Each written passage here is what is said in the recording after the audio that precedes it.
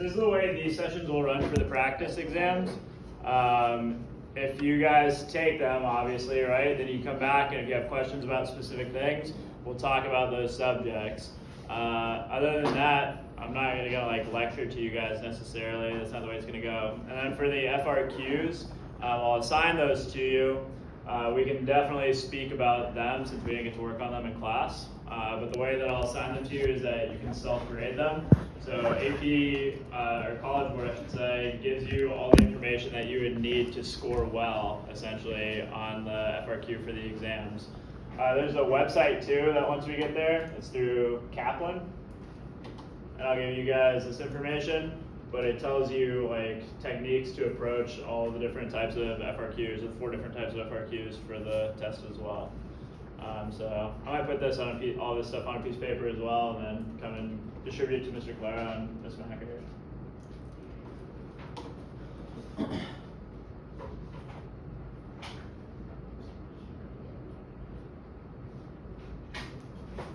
Are you recording this, Mr. Design?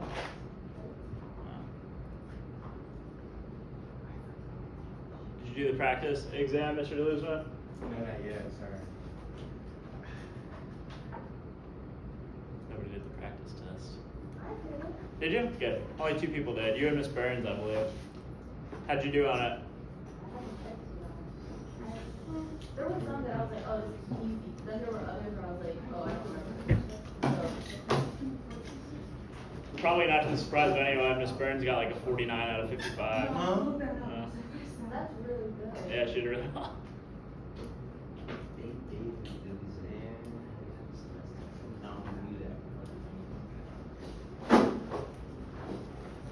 You rolled it on the forty-five. 45? Yeah. So if you haven't done it, this is not like a time that I'm going to sit here and you guys do like the entire practice exam. Um, you guys can go home and do it, and we can just push the session back, or like mix two of the like looking at two practice exams the next time. You know what I mean? Like we'll look at practice exam number one and two the next time as well. Uh, but yeah, there's like a question and answer, I guess, or explanation, I should say. All right, so 45 says, which of the following accurately compares the formal and informal powers of the president? So, first of all, you have to ask yourself, what does formal power mean? Where can I find the formal powers of the president? In the Constitution, yeah, in Article 2 of the Constitution, right? Where can I find these informal powers?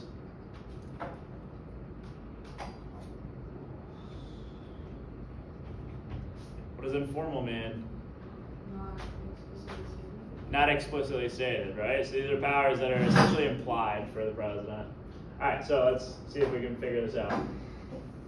Uh, so which of the following accurately compares the formal and informal powers of the President of the United States? Vetoing legislation to prevent a bill from becoming law, uh, using a pocket veto to prevent a bill from becoming law. Do you guys remember the pocket veto? Yeah, what was the pocket veto? Which one, like, the president will use it until it expires? Yeah, so if Con- if the president gets the bill placed on his desk, right, and this is all like I'm just building an image for you, but it's placed on his desk, and at the end of 10 days, right, after it's been placed on his desk, Congress is out of session, it gets pocket vetoed. Okay, so bill just dies. He doesn't go back into Congress. He's just dead at the end of that 10 days, right? All right, uh, using the bully pulpit. What was the bully pulpit? Actually, first we should say, is vetoing legislation, is that one of the formal powers of the president in the executive branch? Yes. Yeah, so we're going to keep A in mind. Uh, B, using the bully pulpit. You remember what the bully pulpit is? Where? Nobody? So the bully pulpit was essentially the media, if you remember, right? It's using the media as a way to like push the agendas and things of that nature. Okay, uh, to influence public opinion. And informal power, appointing ambassadors and receiving diplomats from other nations. Uh, do you remember about the president appointing different positions? Yeah, were some of the positions other than ambassadors? What's that? Yeah, members of the cabinet. Sure. What else? Supreme Court justices, absolutely, right? Federal judges. That was a formal power, if you remember, right? The ability of the president to appoint. Who is it that confirms those appointments? Do you remember? What's that? The Senate, yeah. So not Congress as a whole, the Senate does, right? They have a lot more responsibility than the members of the House do. All right, so well, they just gave us a formal power under informal, so it can't be B. Using the bully pulpit is not a formal power. You don't get to like this doesn't say that in the Constitution. The president will use the media to push their agenda. No. Okay. C. Acting as commander in chief of the military. Hmm. And signing executive agreements with foreign nations. That's an interesting option. Let's keep C in mind. And using the power of the purse to support government programs. Who has the power of the purse? Secretary of Treasury? Hmm. Who allocates the money? Who determines that? Yeah, Congress does, right? So Congress has the power of the purse. Uh, and using signing statements. No, signing statements are what he puts on bills before he sends them back to Congress, right? They're like notes on what he thinks the bill should have looked like. All right, so I think we're between A and C then. What do we think? A. Oh, I heard C and A. Why do you think A? Um, signing, executive agreements is also a formal power, right? Signing executive agreements with foreign nations. Uh, yeah, you could say that, right? So then it's up to the Senate to then go forward and like approve anything that he's doing with foreign nations. The president's a diplomat. President is chief diplomat, yeah. That's like stated. Yeah. So we think A? I think A too, but we could be wrong. What did you put, Miss Simon? I don't do, cause I didn't, um, understand like what the power of the purse was, so I wasn't. Gotcha. Yeah, you'll probably see that phrase, okay? The power of the purse. Just know it means the power of money. Find money in the purse, okay? Let's see if we're right. Could be wrong. Oh no, it's C. Ms. McCullough, if you're on campus, please call seven two four See if we two can find an zero. explanation. President's role as commander chief of the armed Seven two four two zero. of the armed forces is a formal power explicitly authorized in the Constitution. Signing executive agreements for foreign nations is not included in the Constitution. is considered to be an informal power of the presidency. Ah, yeah. Okay, so we had that wrong, Mr. Razzano. Signing executive agreements is going to be a formal power. Oh, all right. Any other questions? Why, why is, uh, pocket being or is it? So. Wait, so So Yeah, A would be wrong in this case, right? So the pocket veto. Yeah, it's gonna be a formal power. That's my mistake. I thought it was informal. If it's a formal power, does that mean it's like written? somewhere? Right in the Constitution, yeah. So here, let's look into Article Two.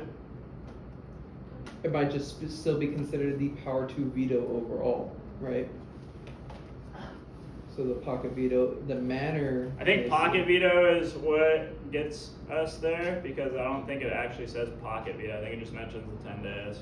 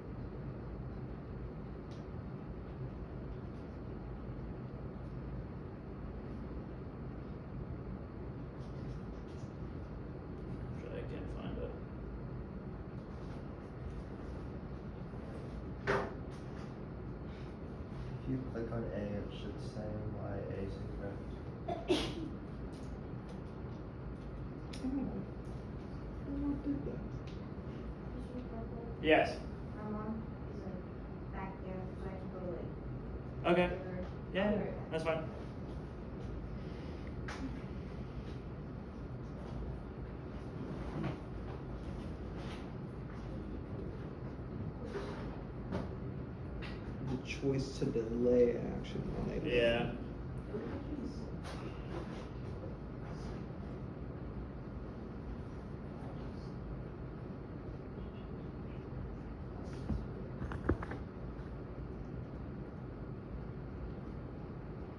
I'm trying to find the exact wording though, where you can see why we're confused.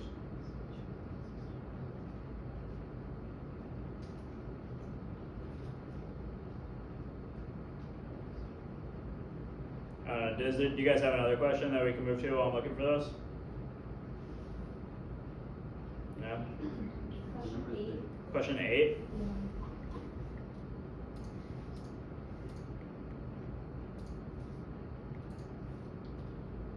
Oops, damn it. Yeah. On February 9th, 2016, President Barack Obama released his budget proposal for the 2017 fiscal year. Okay? So remember, the president is making a budget proposal. So what does that mean, proposal?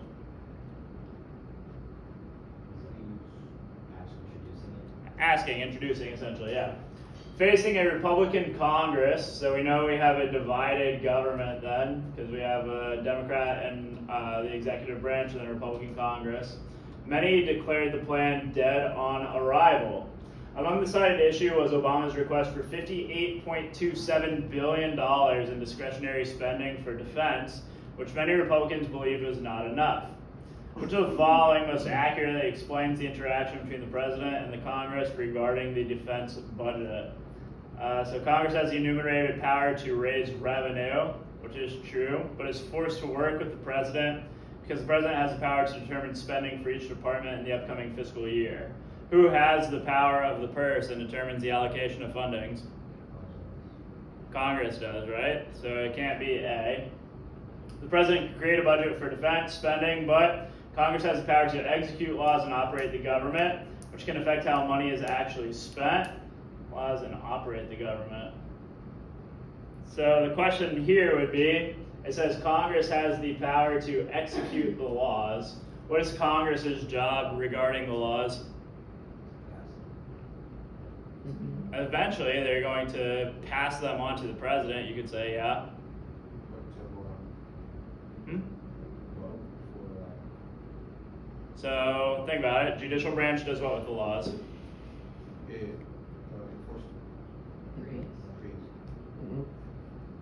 Interpret. Mhm. Interprets laws, yeah. Legislative is That one's great. Creates, yeah, good. And the executive executes or enforces laws, yeah. Okay? So Congress does not have the power to execute laws. Okay, so it can't be B. Congress passes a budget for the entire federal government, including defense, but it must consider the president's proposal because the president may veto the bill. That sounds pretty good. We already saw it a second ago. The president introduced a specific budget for defense, or yeah, sorry, bill for defense spending, but Congress uses its power of legislative oversight to set up a negotiation process with the president. You guys remember talking about congressional oversight? No, not at all. All right, so congressional oversight consisted of Congress having hearings and stuff, right? And they would look at the different departments that they had created to ensure that the money was being spent the way they had written the laws to do. Does that make sense to you guys? So, like the FDA, for example, if they give the FDA X amount of money and the allocations, they'll check up on the FDA and all the programs the FDA has created, right? Does that make sense so far? So they'll come in, they'll check up and have hearings and say, where's all this money going? Okay, that's congressional oversight. Uh, so they're not going to use that to negotiate. That doesn't, that's not what congressional oversight is. So it's going to be C. In in this example, you said the, they kind of look Apple with the FDA. The what? So they give, they give spending to the, they give money to the FDA, right? Yeah, to the bureaucracy essentially. So all of these different elements of the bureaucracy, where the money goes to. It's like a, like a, a government, company or. It's a regulatory agency. Yeah.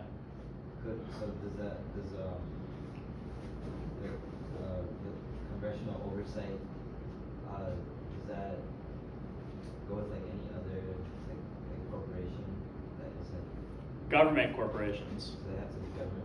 Yeah, it's not private corporations. There's not going to be congressional oversight there. Now, if Congress has a law in place, right? There's federal law in place, and there's something happening with a corporate company, they will call them in and they'll they'll ask them as well. Not I don't want to say interrogate, but they'll question them as well, like as to what's going on. Like Mark Zuckerberg had to go in front of Congress That's not what I was long ago. about, yeah. Yeah. And that was because there's different like privacy laws and things like that that were in question that were possibly being broken. But that, but that wouldn't be like a congressional oversight. It's not congressional oversight. It's like if your parents give you an allowance or money, uh, not an allowance. If they give you money and they say, I need you to go to the grocery store and pick up these items, here's a hundred dollars, right? If you come back and you only are supposed to have spent fifty dollars, right? And you come back with zero dollars, they're going to use their oversight on you to say, okay, tell me where the money went, right? I gave you money, I told you you had a job to do, now tell me where it went. Where did the money go? If you say, oh, I filled up on gas too, then their oversight should say, that makes sense, it adds up. Does that make sense to you? But if you went and you bought who knows what, then no, you have failed the oversight of your parents. Same way with Congress and these bureaucratic entities. Homeland Security gets called in for, for meetings uh, by Congress almost all the time just because of how much they're spending on the border No. and where that money is being spent too.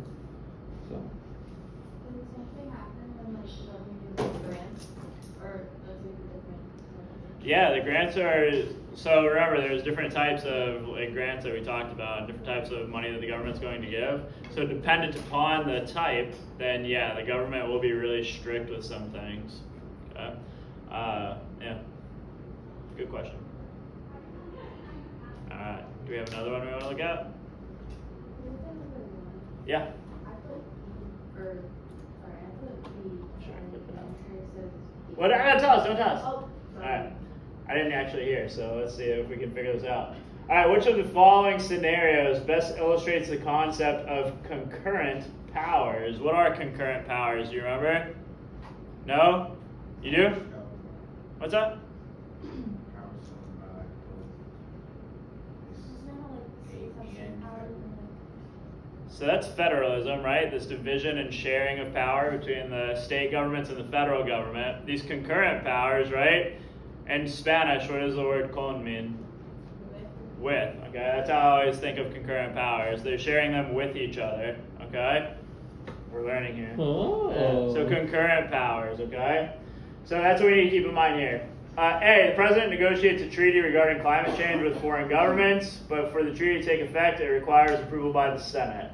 All right, do we see any mention of state government here? An A? No, so it can't be that. Uh, B, as commander in chief of the military, the president orders troops to a foreign nation to address a potential threat to national security. Uh, no, I don't think so. There's no mention of states here.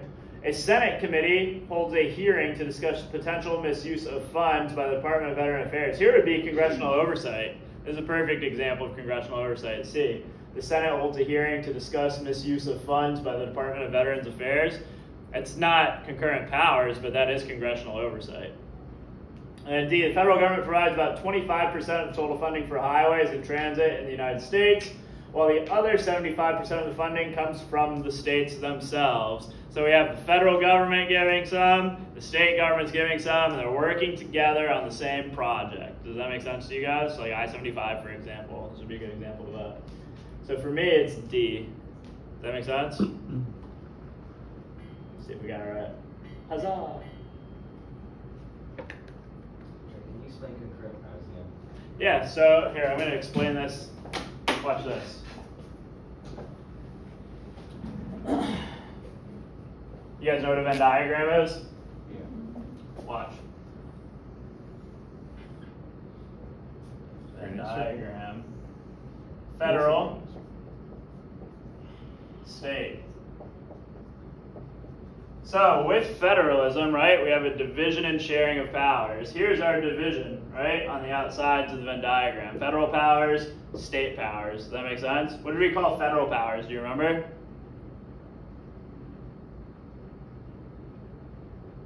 We can find them in the Constitution, specifically. You guys have a lot of studying to do.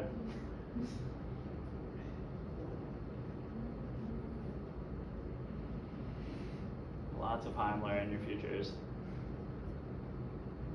Starts with a D. Oh, delegate There they are.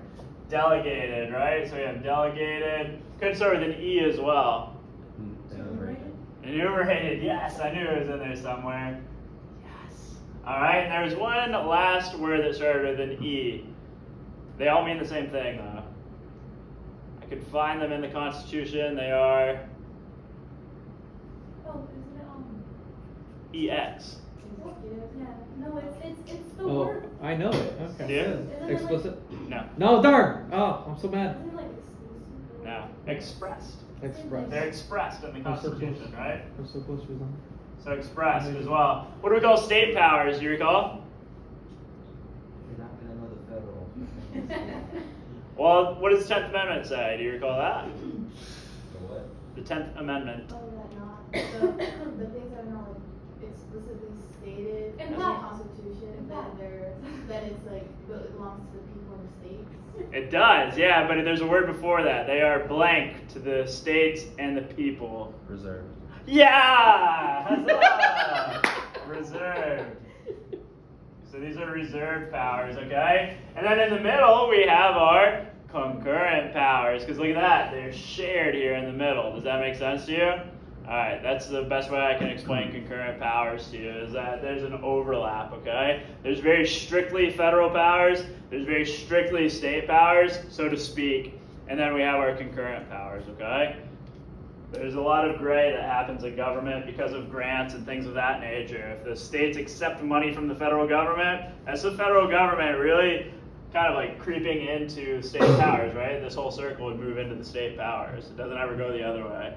It's the federal government coming into the state powers. So federalism is like the big idea of it. Fed, yeah, this is the idea of federalism here. And concurrent is just a little sort of. Yeah, because if we go all the way back to the beginning, right, the Anti Federalists were afraid of too strong of a federal government. So they said we have to ensure that the states are going to have powers. Boom, 10th Amendment, right? We're going to make federalism a real thing. Okay? Anything not found in the Constitution belongs to the states. Cut and dry. Does that make sense, Mr. Savalos? Yeah. Okay. Cool. Can you go over pork barrel legislation? Yeah, pork I barrel? completely forgot what that meant. Is there a question on it? Yeah, two. Two. Okay, which of ah God, I can forget to do this. Okay, which of the following scenarios best illustrates a member of Congress supporting pork barrel legislation? What else does a pig make for food other than like pork chops? Oh, bacon. That's it. Bring home the bacon. Do you remember me saying that in class ever? Yeah, so when we think pork barrel legislation, we want to think bringing home the bacon, okay? All right, so let's look. A senator from a coal producing state voting against a job training program for coal miners. Doesn't make sense. Why would you do that to your coal mining people, right? Uh, a member of the House voting for urban renewal in exchange for increased funding for roads. Hmm more money. Okay. C, a senator from an agricultural state amending legislation to establish a potato research institute in his or her state. This is all interesting. And D, a member of the House Armed Services Committee marking up a bill that will increase funding for military bases. All right, so what do we think here? Pork barrel legislation. Did you already answer it? I saw the answer. I forget what the answer was, if I'm being completely Right. honest.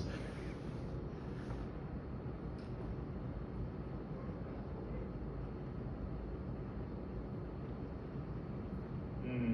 I think that this is a tricky one because uh, now I know what the answer is. I'm pretty sure this is a tricky one because pork barrel legislation. What did I say to think of whenever you think of this? Bring home the bring home the bacon, right? So I need to bring it to my state. Does that make sense? Only one of these talks about them actually bringing money to their state. The other ones talk about increasing funding, but it doesn't say where that funding is going to go. Does that make sense? So this is the AP gods giving you a lot of possible right answers, but only one of them is most correct. I hate when they do this. No, I love it. It's great. so for me, I think it's probably C. You guys agree? Was it C? I don't even remember what was there. It was C? Yeah. Because it says his or her state. And that B was was the other one, right? That could have been possibly right. Could have been, yeah. Or increasing funding for military bases, you could technically say, but the base would have to be in your Right. specific state, along with other things. But too, yeah. still, you wouldn't that, uh, you wouldn't consider the military base as a part of the state. yeah, exactly. Yeah. It's federal government. Right. Yeah. So this one, if we click B, I would bet because it says it's not to your state. Remember the house? So Pork Barrel is just doing like, what's in the best benefit of like, Of your state specifically, or your congressional district if you're a member of the House. Yeah. Because theoretically, if I bring that money back to my constituents, they're going to be very pleased with that. Does that make sense? And if my constituents are pleased with me, what are they going to do with me? They're going to keep me in office. I'll keep making my $173,000 a year. Uh, Realistically, more of it. Oh, yeah. Base salary. oh, that's so because it talks about like the, oh, that's not the word, the like, the exact plan for the money. Bring like, it to the state specifically, yeah. For example, like when the president talks about their plan, it makes the person like, it makes the voters and constituents. Yeah. Like, want to vote for him because he has a plan, not like just want to run something. Sure enough, yeah. Uh, what other ones do we want to see? Is this jogging your guys' minds at all? Are you remembering some things or not really? Kind of.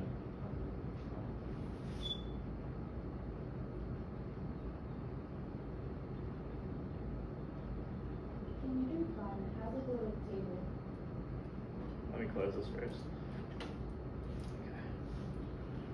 Uh, so we're looking at presidents, signing statements. What are signing statements again? Oh, like the market they put, uh, on the bill. Yeah, and then objections to legislation within the signing statements. So Reagan had 250 signing statements, 35% of which objected to legislation within it, or had objections to legislation within the signing statements. George H.W. Bush, 228, 47%. W had the highest, right? So let's move down here and see what it says. W. George W. Bush. Which of the following statements most accurately supported by the data in the table? President Clinton greatly reduced the use of presidential signing statements compared to his predecessors. Uh, I guess you could say that. Uh, while President George W. Bush issued fewer signing statements than President Clinton, George W. Bush fewer signing statements than President Clinton, yeah, has included more objections than President Clinton's. That one looks pretty good. Uh, President Clinton's brief access to the power of the line item veto allowed him to use fewer signing statements that raised concerns about legislation. Does it say anything about line item vetoes in here? No, so that's AP God's trying to toy with your mind, okay? Don't pay attention to stuff like that. If it's not in the graph, it doesn't exist. Uh, D. President George W. Bush was forced to issue more signing statements as a direct result of the terrorist attacks of September 11, 2001. Are we allowed to assume that? No, we're not allowed to assume that. Uh, so I would say we're between A and B. The only reason that I would say it couldn't be A, and I might be wrong, is because it says greatly reduced. What does that mean? And compared with his predecessors. is that Yeah. true? Well, He has the most though, oh, did it say signing statements or did it say objections? signing statements. Oh, okay, sorry, yeah. Then obviously that's not true. He has 381 compared to those two other ones. Perfect. It's gotta be B. Um, compared to the pre, like he didn't reduce them compared to the president. Got it. Six? Yeah. Same graph? Yeah. Uh, which of the following best explains the reason that a president might use a signing statement to express displeasure with a bill as opposed to issuing a veto? The president might have objections to provisions of a bill but does not want to risk Congress overriding a veto. Uh, what do we remember about vetoes? What does it take for Congress to veto the or to override the president? Yeah, two thirds vote in both the House and the Senate. Is that something that's likely to happen? Probably not. So I don't know that the president would necessarily fear that. B, Congress has severely curtailed the power of the president to withhold funds for bills that have been adopted. I don't know. The, the Supreme Court is hesitant to acknowledge the president's power to veto legislation.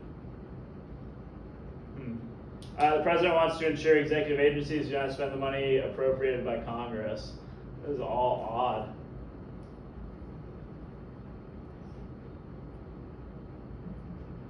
Hmm. What What do you guys think here? The only one that makes sense is A. Yeah, I'm kind of going back to A. even though I didn't like that it said that they'd be concerned with the veto. These other ones, they're kind of like they're far out there, right? Did you already click it? Is that what you said that? Oh. Did you already know the answer? That's what I was getting at. No. Alright. I agree with you. Yeah. It's a...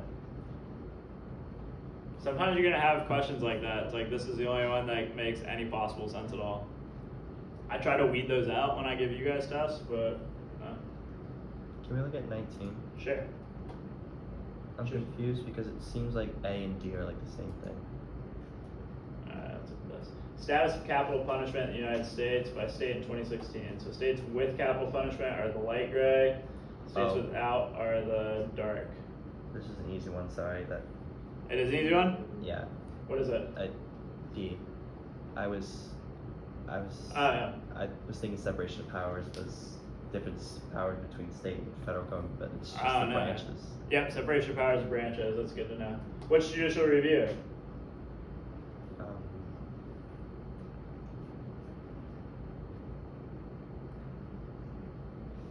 The power of the Supreme Court too. check on the president. Review laws. Yeah, to review laws for what?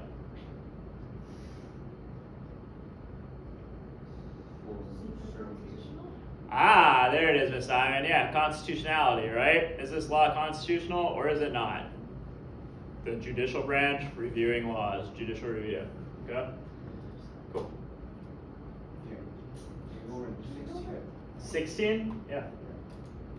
Keep in mind whatever you had. Uh, which of the following is generally the most important? This was a question that we had on an exam. All right. Alright, I'm gonna not be like this. All right, which of the following is generally the most important agent of political socialization? Who do you get? Who are you going to follow usually? Your family. It's just laws. You remember that one. What do you mean? Oh, how, how's that? You make it sound like it's surprising. I'm not dead. I never said you were dense. Can we do 20? What's I'm that? applying it. Can we do 20? Oh, applied powers. 20? Yeah. Okay. An important Senate race takes place in the state of Georgia. Rather than focus on the issue positions taken by the candidates, a 24 hour cable news station instead focuses on, on primarily on poll results and campaign strategies using a big board to show the counties where each candidate has the most support. Which of the following is an effect of this type of news coverage? Uh, a, the, so let's think about this first, right? 24-hour cable news station. They're focusing on pri- or on primarily on poll results. Okay, so we'll say like we have Savalas. Uh, um, who else is here? Simon, Luzma, and we'll just leave it right here for now. So we're focused on poll results, okay? All right, so we've got Deluzma going up, right? We've got Simon going up a little bit. We've got Savalas going up here, okay? All right, so this is where we're at at the 12 o'clock hour. Now it's the 1 o'clock hour. Uh, Deluzma's dropped a little bit, right? Simon's gone up even further. Savalas has stayed the same, all right? Now I'll get back with you at the 2 o'clock hour. We'll check back in on our polls. So this is kind of what it's describing here, right? looking at the poll results and campaign strategies using a big board to show the counties where each candidate has the most support. So if I'm doing this, right, showing that everybody's going up and down, what kind of effect is saying might that have on the counties themselves or the state? So would it be the electorate will be increasingly divided along partisan lines or party lines? Probably not. They're already divided how they're going to be divided, right? That's just the way it goes. All right, B, the electorate will be more likely to turn out to vote on election day. Are you more or less likely based on this? C, the electorate will be more likely to have expanded knowledge of the electoral process. No, you're not going to have any knowledge of the electoral process based on something like this. Okay? The electorate will be less able to accurately compare the policy platforms of candidates running in the election. Probably that, right? Do you remember what this is called? What type of uh, journalism or reporting? Um, horse. Yeah, horse race, right? Yeah, yeah there it is.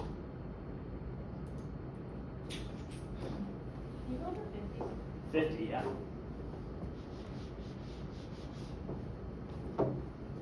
That first question that you guys asked is bothering me, so I need to find that.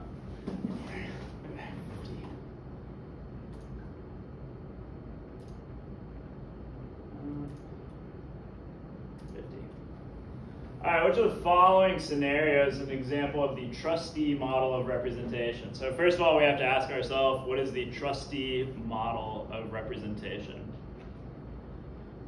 If you've elected me as your candidate and I'm your trustee candidate or representative, what does that mean? And you feel like voters, they trust you, like, act in their best. Yeah, their best interest, Yeah. right? Yeah. Alright, let's look. Uh, the NAACP leadership sends representatives to Washington to lobby for changes to the Voting Rights Act. It's not really trustee representation. Uh, that's more lobbying, right? Uh, so B, Congress passed a bill allocating money to clean up nuclear waste sites after a wave of large-scale peaceful protests. No. A member of Congress votes to close a popular tax loophole based on the belief that the money would be better spent paying down the national debt. Or a presidential candidate advocates using an executive order to increase the minimum wage for federal contractors. So, is the candidate a representative? If you're a candidate, what does that mean?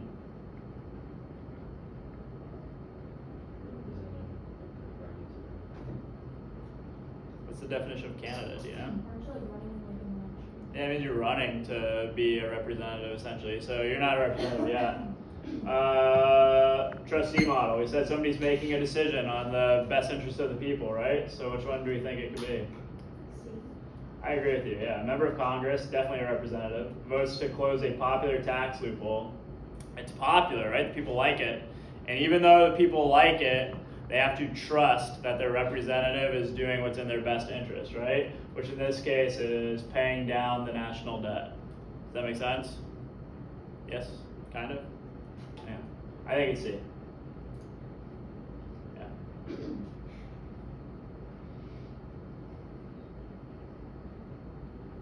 it has to do with one person doing not necessarily one person doing it, um, but this is passing. Uh, yeah, so I, are you saying why is it not B? I mean, 'cause I feel like they're both doing things for the, people.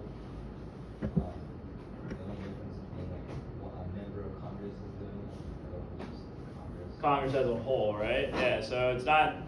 That's so they're both kind of right. One is more right because we're talking about the trustee model of representation. That's me trusting my candidate is going to do the right thing for me. I, I don't trust all of Congress, right? But I do trust my candidate possibly. So it's like, well, like, uh, I'm oversimplifying, it's like one person. Yeah, yeah. So let's look at why it says not be. Passage of legislation to this cause brought to the attention of Congress by way of popular protest more closely reflects a delegate model of representation as well. Okay, because they did what the peaceful protesters were asking for, is why. Oh, so, oh, okay, so they have to like, they have to do it on their own. Yeah, delegate model means that I've asked a person or they know the constituency wants it. Here, right, with this trustee one, it doesn't have to be that they're doing the opposite of what the constituency wants, but they're acting in the best interest of the constituency, right? In, in the, in the. Here, they're acting in the best interest essentially of themselves because it says after a wave of peaceful protests. They didn't do it before the peaceful protest, it was reactionary to the people. I, I read it like the, the, the peaceful protests don't, they, they, the cause. No, I don't think so. No, they passed a bill to clean up nuclear waste sites after there was a large scale peaceful protest. Uh. Uh, what other ones? 23?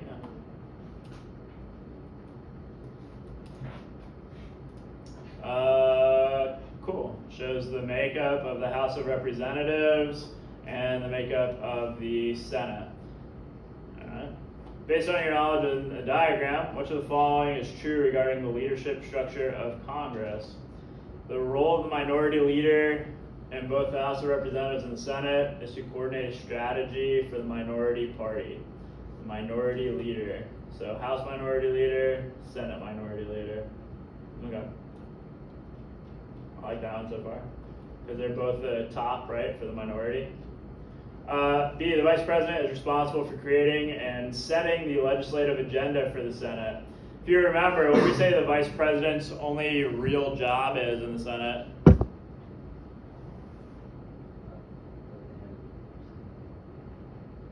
The backup of pro tempore. No, so the pro tempore is the temporary president of the Senate, so they're the backup for the vice president. So how many members are in the Senate, do you recall? 100, right? So if we have a vote in the Senate, theoretically what could happen? Yeah, right. There could be a tie. All really, all, vice president's only job tiebreaker. Okay, and obviously they're going to vote whichever way the uh, majority, or sorry, not the majority, the executive branch is. Right. A? Tiebreaker. yeah, essentially. So I don't know of any special name for it. Uh, all right, so it's not that. C, the Speaker of the House has very little power to control members of the majority party in the House of Representatives. That's not true. In fact, they are the strongest person in the House of Representatives. They set the agenda for uh, the House. They uh, set the rules for debate. Uh, they do all kinds of stuff, right? Uh, uh, the majority leaders in both chambers work to ensure that a bipartisan agenda is passed in the Congress. What does bipartisan mean? Both Both parties. Would the majority leaders want to work on bipartisan things all the time? No, I'm going to push through what my party wants, right? So for- for me, that leaves one answer.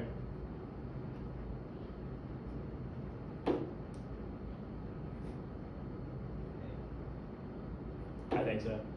That makes sense? Role minority leader in both the House and the Senate is coordinated strategy for the minority party.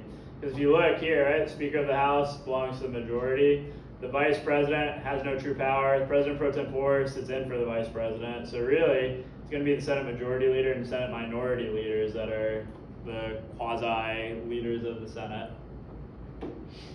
So yeah, I think Ed. Cool. So far, we've only got one wrong.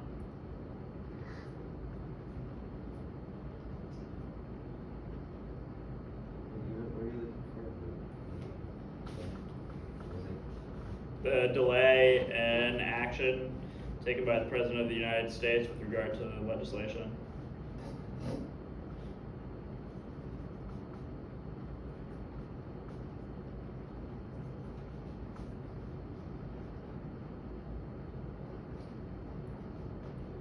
You guys can look for another number you want to talk about if you want to.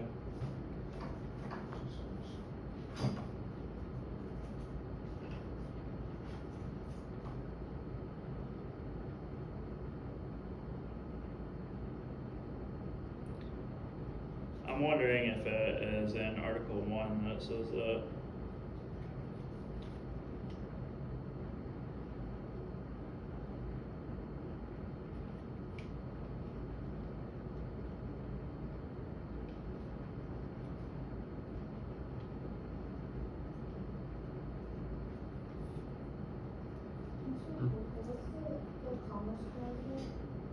The Commerce Clause is the federal government's ability to determine whether or not an action is impacting uh, federal money or allocations or revenue in some form or fashion.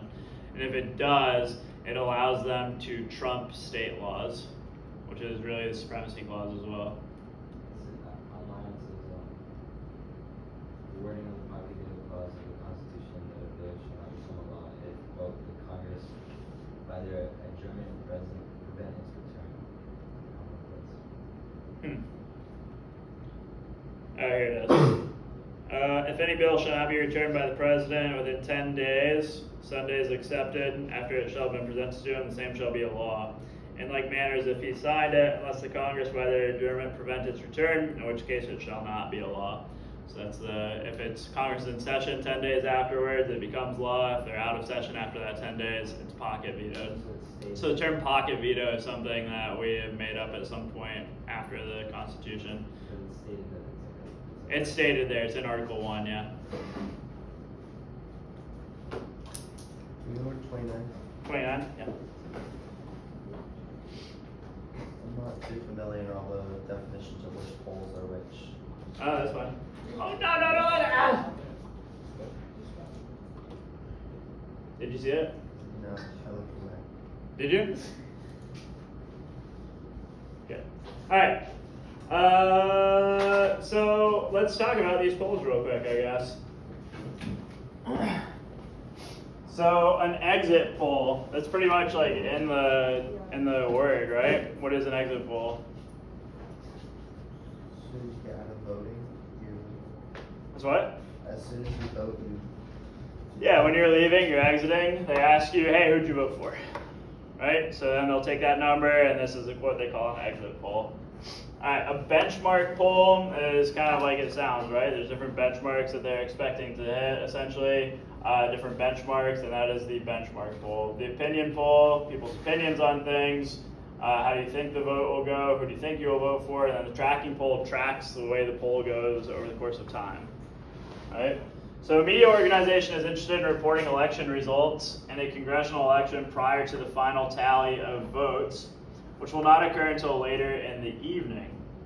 The organization randomly selects several polling places across the district, asking voters whom they voted for. Okay? The type poll being used in this scenario is known as. So they're asking voters who they voted for.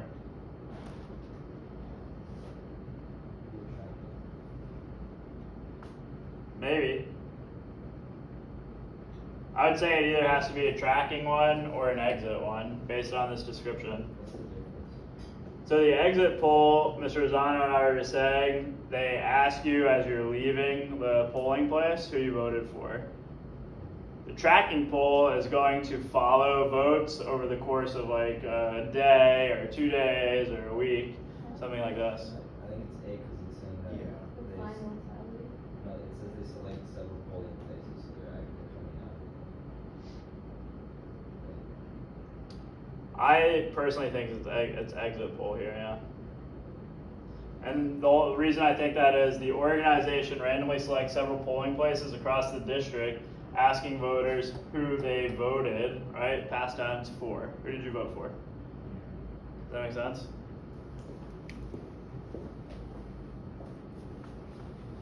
If it had said that this organization was like they started on Monday, right, and they tallied votes Monday through Friday, that would be a tracking poll. If I went up to Mr. Razzano and I said, "Hey, who do you think is going to win the election?" That would be an opinion poll, right?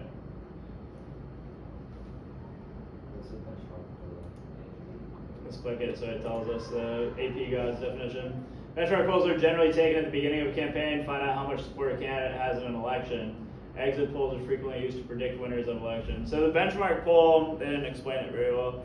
The benchmark poll, like it says here, right? They're taken at the beginning of a campaign to determine whether or not, like, let's say we were taking a benchmark mark poll on you, Mr. Savalas, to find out if you have enough traction to even have you run as a candidate for the political party. Does that make sense? Do you hit the benchmark, the standards to carry you forward? So this is only for the candidates?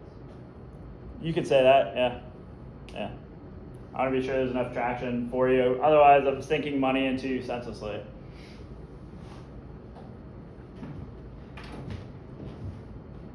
Uh, Maybe 34. yeah. I mean, it seems really easy, but It's not, could maybe. be wrong. Yeah. All right, number of residents per electoral vote. Interesting. So, what do we know the electoral votes are tied to, first of all? Based on population. Mm, kind of. So the House of Representatives, right? The number of members of the House you have is tied to population, but the electoral vote is a merger of two numbers, if you remember. Look back at the electoral college map. What could that possibly mean? These numbers. What are we adding together to get those numbers? Uh, the, yeah, Senate and House of Representatives. There it is, yeah. So North and South Dakota, for example, they get the minimum number of representation for the House of Representatives, which is one. Okay? They have two senators because that's what the Constitution says. Every state will have two senators. So their electoral college vote is three. Does that make sense? Alright, so that's what we know about the electoral college then. Roughly, each member of the House represents somewhere around 700,000 people, give or take. Alright, given the information in the graph, in which of the following states would individuals vote likely have more influence? So it shows us residents per vote in thousands. You guys are doing a lot of work with graphs right now, so these graphs should be easy for you to read, right? I don't know. I just heard you were doing a lot of stuff with graphs. Sounds terrible. All right, down here is the states, okay? So, just looking at this, right? In which state is your voice going to be loudest? In which state are you going to have the most influence? I think Wyoming. Is that what you're looking at, Mr. Razzano? Wyoming? Why? Because you need less people to vote for every single vote, like per vote. You only oh, need 150 people to vote the same way instead of 650. Okay, yeah, that makes sense. So I think of it like almost like water or something like that, right? So, so it's like over 600 drops of water and 150 drops of water, or the bottle. I don't know. How can I explain this? Your vote's not as diluted, I guess, is what I'm looking to say. Does that make sense? In the state of Wyoming, if there's only 150,000 people voting, my personal vote means more than it does in a, a group of 650,000. Does that make sense? Yeah. It'd be like in here, for example, like there's four of you right now, and if I took a vote among you and there's one to three, I'd be more liable to ask the one person, like, why do you feel like you do, right? But if we were in the gym and there's a thousand people and 700 people raise their hand for yes and 300 for no, I don't care about 300 as much as I do the one individual inside of the room. Does that make sense? Yeah. Alright. Uh, any other numbers? Can you go, uh, over thirty-five? Yeah. Uh, so the data in the graph best illustrates which of the following common criticisms of the Electoral College.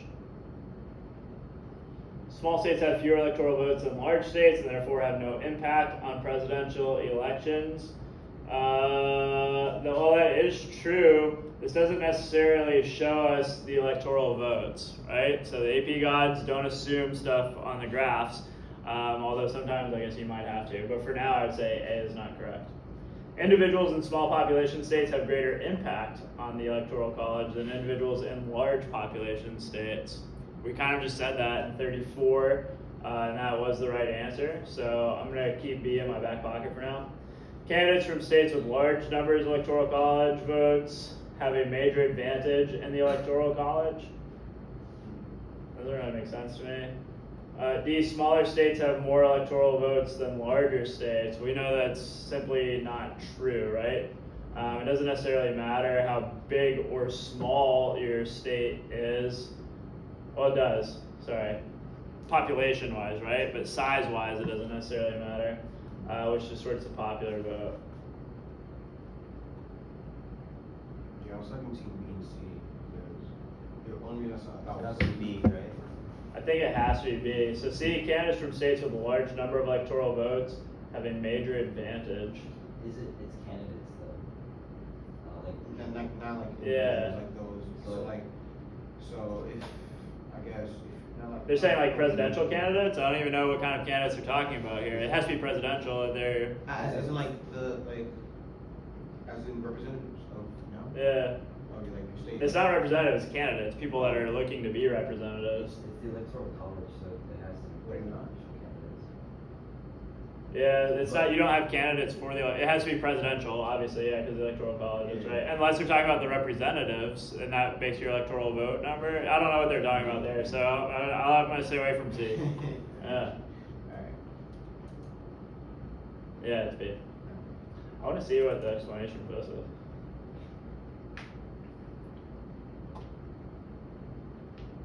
The explanation is usually really bad.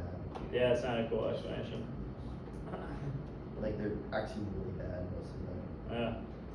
Yeah. You do Just 27. repeat the answer. Twenty-seven? Yeah. Do we need twenty-six to answer twenty-seven? Not really. Okay. Uh, number of African American Southern state legislators. Okay. And then we can see that from the time of the Civil Rights Movement to 1992, that number has gone up uh, quite significantly. Which of the following statements present, or presents, presents the most important limitation of the data and the graph? Which of the following statements presents the most important limitation of the data? The time frame for the data is misleading. I don't think it's misleading. I don't find it misleading. Do you guys? There's no information about the total number of state legislators. I mean, that's true. It just says the number of African American and Southern state legislators. I don't know if it limits it or not. There are insufficient data points to detect a trend. Oh, I can see a pretty clear trend here, right? Uh, the trend over time is potentially misleading. It would be easier to read in a pie chart. I don't think so. I prefer it this way myself. But who See, knows? none of it makes sense. I, it, B is the only one that really makes sense because it doesn't show the total number of state legislators. It shows what the. impact would that have? What's that? What impact did that have? The I guess the only impact it would truly have is that you could see the number of non-African American Southern state legislators, and then see how like that number has dwindled over the course of time. I don't know. That's the only one that makes sense, though, right? We can look at what their explanation is for it. It's got to be B. Do we agree? Yeah. Yeah. One important limitation of the graph set does not give the total number of all state legislators, it only gives information of the African American state legislators in the South. If we know the total number, we can better visualize the magnitude of progress on the issue. See, I don't necessarily agree with that. You can still see the magnitude of the progress without that, but there's there's the AP gods for you, right? You might see a question like that at the end of the day. I wish that I could be like AP board and be like, that is a ridiculous question, but no, that's not the way it works. Yeah.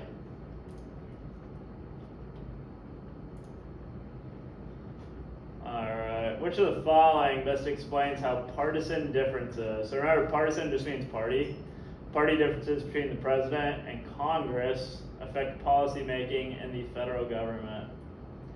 So if we have a difference between the president and Congress in either of the houses, we have a divided government.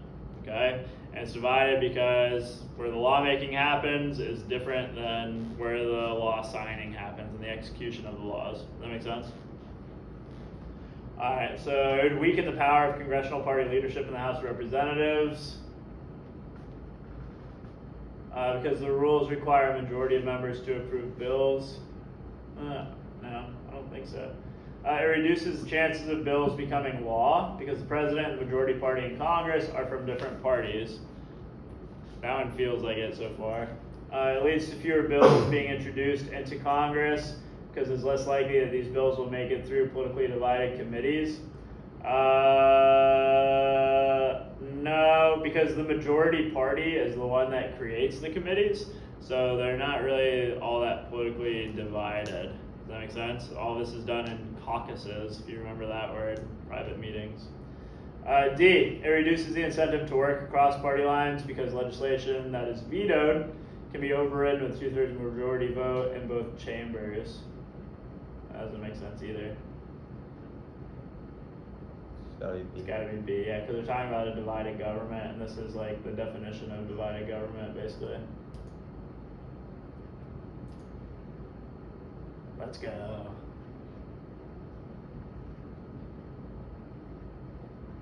Is this helping at all? Is mm, it? If it's not, be honest with me, and I'll try to come up with like another way to do this. Would you prefer like a lecture session? I feel like this is better. I, I study best this way, but it doesn't mean you do. Yeah. What? Okay. Yeah, we'll do a final review. Maybe on like the last session. April 9th.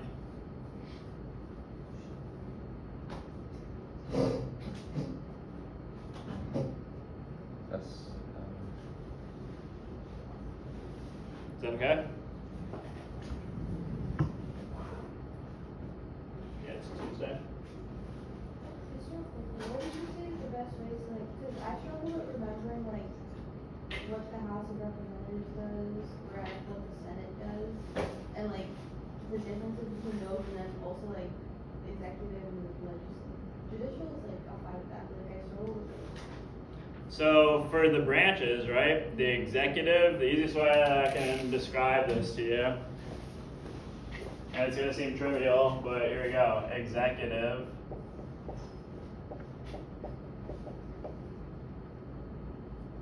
Executes the laws. That make sense? They enforce them, execute. Legislative starts with the L. They're making the laws. Uh, uh, that's how I always remembered it simply. That's a terrible explanation, isn't it, Mr. Razzano?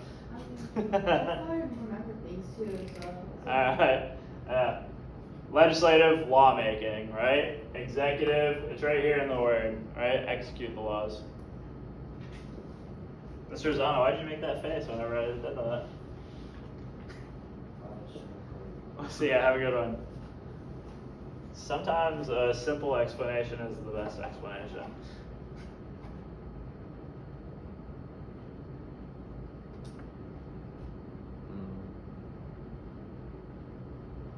Once upon a time, somebody told me if you can't explain something to a five year old, you don't understand it yourself. What's the difference between block grants and categorical grants? So, block grants, remember, is just a big, here, I'm going to explain it very, like, in a weird way. Block grants, I'm taking a block of money, I give it to you, zzz, right? Go and do the money stuff. Categorical grants is I'm categorizing how you can use it. Is that the one where like the government will mostly oversee like strict? Yeah, the government's gonna have all kinds of hooks and categorical grants to be sure you're doing what you're supposed to be doing, or what they want you to do, I should say. What was, what was it called again? Like when the government oversees like funding? Congressional oversight. Yeah.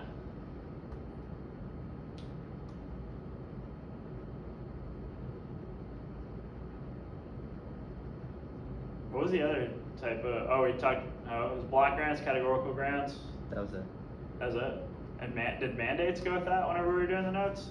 Must have been. It was in that, yeah, Okay. mandates, but it was like, but states prefer. Yeah. Yeah, they prefer the block grants. See, that's an oversimplified explanation, but it works.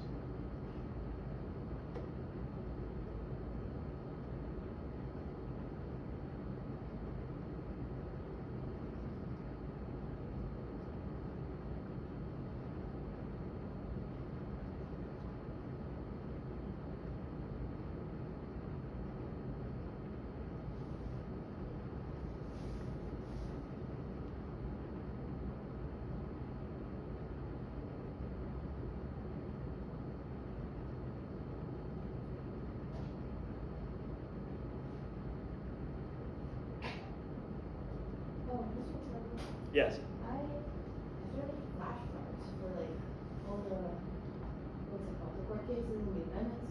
Nice. And I was going over, all of the, cause I like remember all of them, minus.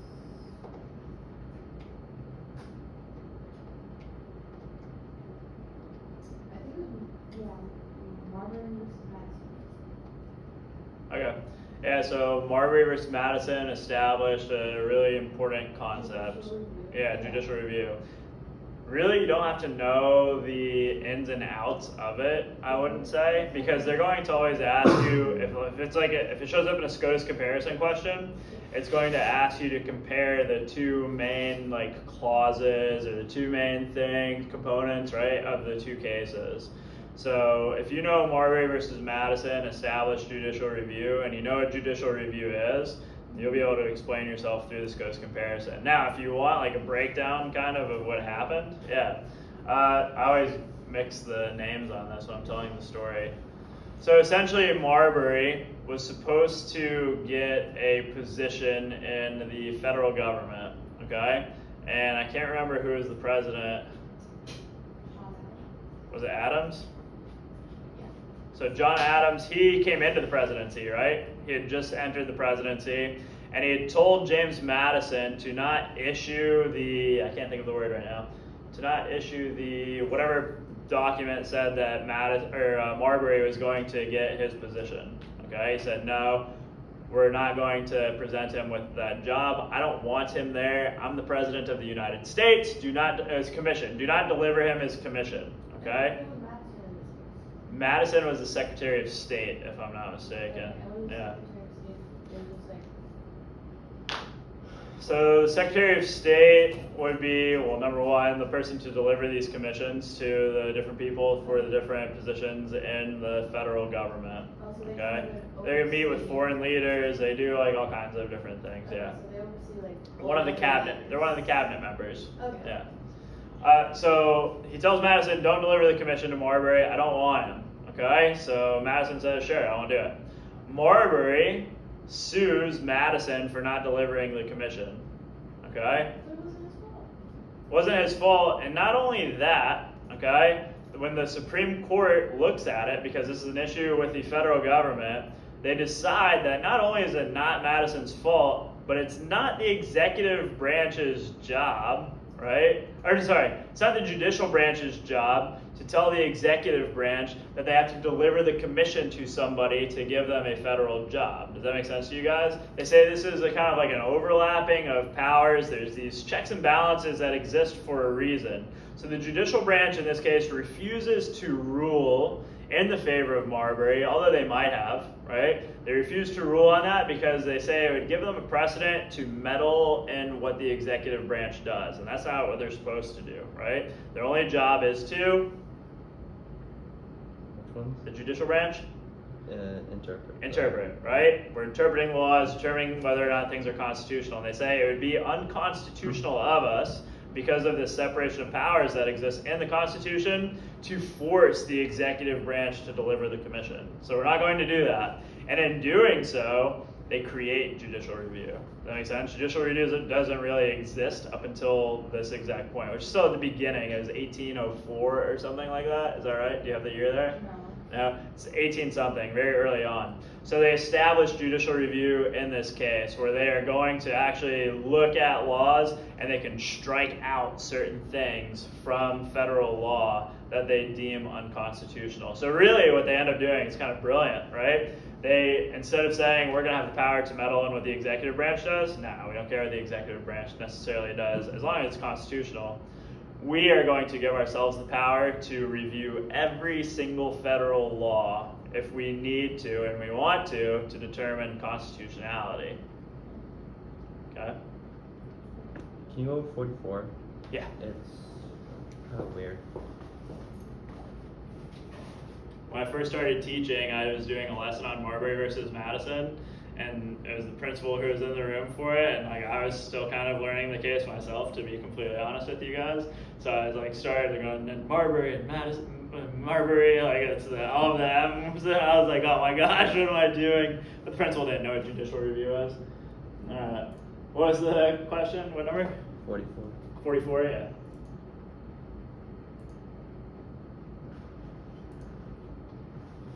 Here we go. Ooh. Which of the following is correct is the correct bearing of powers found in the Articles of Confederation and powers found in the Constitution? So if you remember, the Articles of Confederation uh, gave more power to to what government entity? Executive, the president, like. The Where did most of the power fall in art- the Articles? military? Hmm. What's that? Oh, but they didn't have the military. Yeah, there was a military in the articles. Oh, the states. The states, yeah, and state governments. Okay. Uh, there are lots of other uh, weaknesses that we looked at. Did we talk about Shays Rebellion? I can't remember. We did, right? What were some of the weaknesses that led to Shays Rebellion? Um, The government couldn't protect. Yeah, so no military, obviously, right? But why didn't they have a military more specifically? Why couldn't they incentivize it? No, yeah, they could not enforce taxes, right? They could borrow money, but they couldn't enforce taxes. All right, so let's see. Uh, Articles of Confederation, protection of individual liberties. Does the United States Constitution have no protection? Interesting. This is an interesting one. I like A, the question of A. I don't know. The articles protected individual liberties. Uh, there was not like a Bill of Rights in the Articles of Confederation. Uh, powerful executive branch in the Articles of Confederation. There was only one branch of government under the Articles of Confederation. Do you remember what it was? Legislative. Yeah, they only had a legislative branch, no president. Why didn't they want an executive? Found to be tyranny. Exactly, they were afraid, okay? They had just ended the Revolutionary War. They thought it was too much to give one person that amount of power, okay? They even talked about like a six person executive branch at one per- point in time, like a panel. Uh, so, Articles of Confederation, unicameral legislature. Yeah, that means one legislature. Uh, in the Constitution, what does bicameral legislature mean? Two, two parties. Two parts. Uh, two parts, yeah, I think it's a party, sorry. Two parts, okay? So two part legislature. Is there a two part legislature? Yeah. There is. Let's look at D. Amendment requires u- unanimity of all states. Uh, that is true for the articles. If you wanted to change it, you needed all 13 states to vote that way. Uh, amendment requires president's approval. That's not true. An amendment does not require the president's approval. Uh, so I would say C in this case. There's only the legislative branch, so UNA, one, bicameral legislature set up in the Constitution. So really, you had to know. Yeah, you just have to know the articles, right? Every time I do one, I choose another wrong answer. Really? I started with B, and then I chose D, and then C. Yeah. So yeah, like I said, B was wrong. There was no executive branch. Uh, in the Constitution, the federal government is supreme over the states, only in the cases of conflict in laws, though, essentially. Uh, I'm so confused. for this one, No. Marbury versus Madison. Maybe I just have the wrong thing. But, cause I have that Marbury was commissioned as. Wait, hold on. go on. Yeah, we already have. Okay, I have Marbury commissioned President John Adams, Justice of Peace, and Madison Jefferson Secretary of State. Um, and Madison was ordered not to the commission to Marbury. And then the court in favor of Madison, and it was the first time that congressional act was found in the Constitution. But, I think the first part you have wrong. yeah, who was the president then?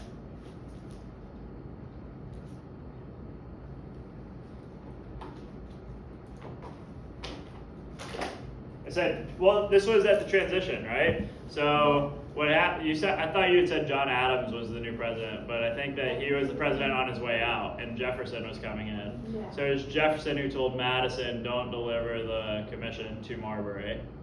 Right? Adams had commissioned Marbury, Yeah. right? And the oh. commission never made it to him before Adams was leaving office. Okay. Does that make sense? Yeah, and then who chooses the Secretary of State? The president of the United States And does. then, so why didn't Jefferson just like kick him out and then choose a different person? Kick Marbury out? Yeah. Marbury uh, wasn't no, being yeah. commissioned as Secretary of State. Madison was his Secretary of State, right? Oh, oh, oh, right. He was commissioned as Justice of Peace. Was it? So Justice of Peace means like a judge. Marbury was being commissioned as a judge. Remember, it's the president who appoints judges, okay, and the Senate that confirms them. So apparently, the Senate had confirmed Marbury, right? And that commission, the affirmation, never made it to Marbury before Adams left office. Then when Jefferson took office, Jefferson said, Nah, I don't want him as one of my judges. He never got his commission. I'm not going to give it to him. That way he doesn't have his job. Does that make sense? But it wasn't Jefferson's job to give it to him. It was Madison's job to give it to him, according to how the law was written at that time. And then the judicial branch struck out that portion of the law. They said that's unconstitutional. We shouldn't have all this this meddling going on. We're not going to rule on whether or not Madison's going to have to go and do that because it's unconstitutional of us for to, to have to decide on that. It gives the judicial branch too much power over the executive branch. Does that make sense? So they reviewed that law that said that and said it's unconstitutional. Done. Does that make sense? Kind of. Justice of Peace is a judge is appointed by Senate, you said? or, Appointed by the president, confirmed by the senate. so you basically need both in order to like approve it? Correct. Yeah. Otherwise, the president could just go around hiring all of his friends to be judge, federal judges. You're like a forty-seven. Yeah.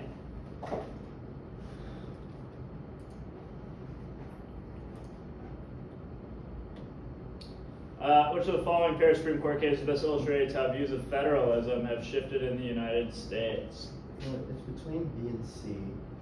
Uh, but I think C is both examples of the states uh, having the upper hand in the decision because Citizens United is like the uh, the news one, right? Yeah. And Uh, not the news one. Citizens United is the one where the corporation uh, used business money to make the Hillary Clinton video, uh, kind of like bashing her and her campaign, and they did it within 60 days of the election. Um, and that was not allowed through the, I can't think of it, the BCRA, Bipartisan Campaign Reform Act. Um, so that section of the Bipartisan Campaign Reform Act ended up getting slashed out, and they determined that corporate money was just as good as free speech. so Citizens, United one. Citizens United won, yeah, they're a corporation that used their money. in favor of the video. Correct. Yeah. Okay, now so- it wasn't decided on until after the election, so all they did was set precedent moving forward. So I think it has to be beat because McCulloch was fair and that was the bank one, right? Yeah. And the bank one was in favor of the the uh, the federal. Good. And United States for the Lopez was the gun one, right? Yeah. Wait, no, Chicago was the gun one. No, you're- Lopez, you're right. Lopez, oh, the kid bringing the gun to school. Yeah. And that was in favor of the state law. Correct. So Yeah. it's gotta be B, right? Yeah, and that would show that shift, right? Because the other one, this wouldn't really show a shift because they ruled in favor of McDonald here, right? So they ruled in favor of the quote unquote people, like the corporation, right? They're, they're viewed as a person, and McDonald one here, so that's person to person. So yeah, I agree with you. I think it's probably B. This is um, The news one. prior restraint, yeah. And this is the pamphlet. Yeah, I think it's gotta be B. Okay.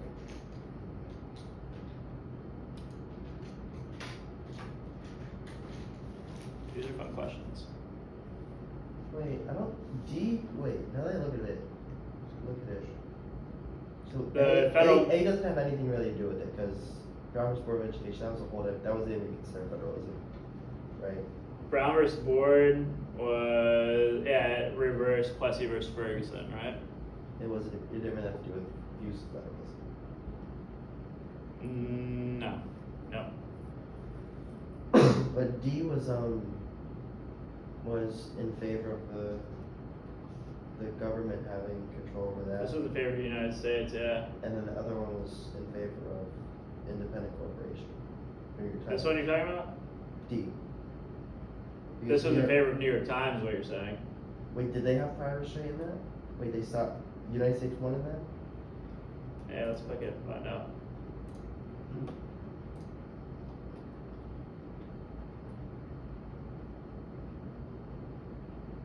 Ah, fair enough.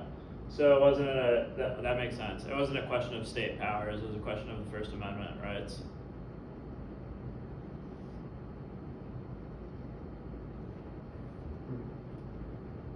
This was a, this was a complete question of state powers, right? Did Maryland have the ability to tax federal government?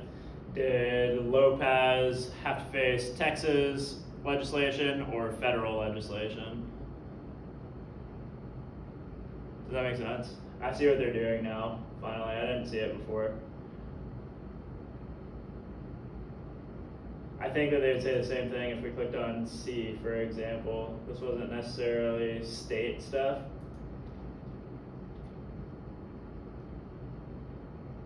Yeah. So McDonald's Chicago was related to federalism because of the Second Amendment being applied to the states. Um, but Citizens United was not. Yeah. Cause like we said, I talk about free speech. Does that make sense?